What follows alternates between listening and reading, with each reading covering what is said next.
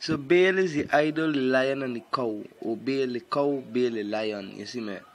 Baal the lion head, man, body. You see me? Cause if you go and check up on the internet thing, you see what's Baal or oh, Baal. You see me? Baal. Baal. You see me? It's idol.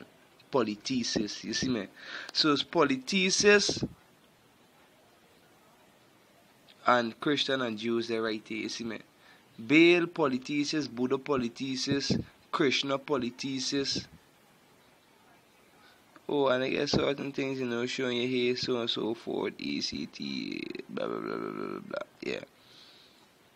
So you get Krishna is a polythesis, Jehovah is a polythesis because Jehovah is also used to the Trinity God, you see me? So Jehovah is the Trinity God. You see me, Christ is his son. According to the Christians them and the Jehovah Witness and these things, you see me. Then you get Vishnu, which is like Anuman, Narish, then pig-head being Hor- Horus, not Horus, Horus is a cowhead god that in Hinduism as a Vishnu, you see me, a idol cowhead god. And then you get other deities and these things like Shiva, all them is Vishnus, you see me, in Hinduism.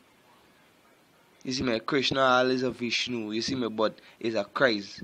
Buddha, Krishna, and Jesus are Christ, you see me.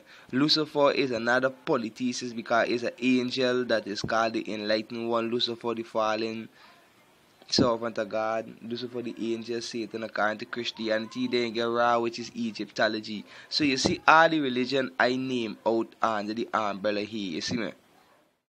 Ra is the Egyptology, Lucifer is the Freemasonry, Vishnu is the Hinduism, you see me? Allah to the Muslim, Jehovah to the Christians, or to the Jehovah Witness, Buddha to the Chinese, and Baal, the polytheist idol Kawan thing use to make sacrifice to. So Krishna and Vishnu's are the Hinduism.